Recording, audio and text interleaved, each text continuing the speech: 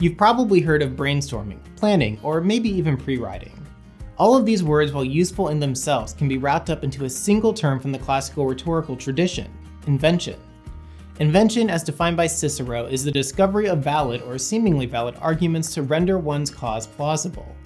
Invention then isn't creating arguments out of thin air. It's about finding relevant materials for the subject you are speaking or writing about. This first canon as part of the composing process is vital because it helps you gather the threads that you'll be working with as you craft your speech or paper. It helps you figure out what kind of reasoning you'll use in your argument, the evidence that you'll use to support that argument, and the ways that you'll appeal to your audience. In brief, invention is the tool you use to find out what you're gonna say. Alright, so I've been talking in very abstract terms so far. What does using invention look like when you're creating a speech or writing a paper? In both instances, the discovery process of invention will rely on concepts you're already quite familiar with.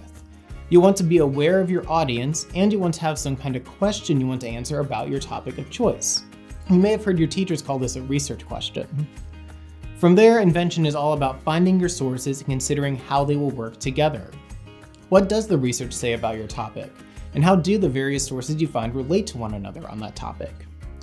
One of my favorite strategies for inventing arguments in a research context is a threefold model for academic conversation found in the work of English scholars Gerald Graff and Cathy Birkenstein.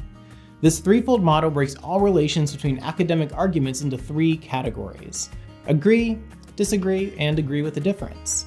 When you're looking at any two academic sources making an argument about the same subject, they will either agree with each other, disagree with each other, or will agree on some points and disagree on others. Invention happens when you figure out which of these options best describes the relation between the two sources and what implications that relation has for your research question.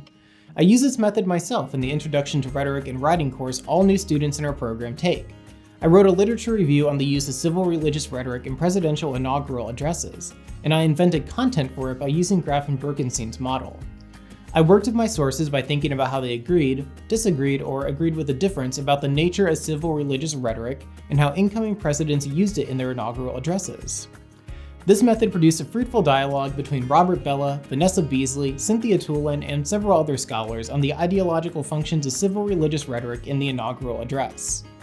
Now that you've invented or discovered the arguments you'll be using, you need to figure out how to arrange them for your speaking or writing context. And with that, we move on to the next canon, arrangement, presented by my colleague Jenna.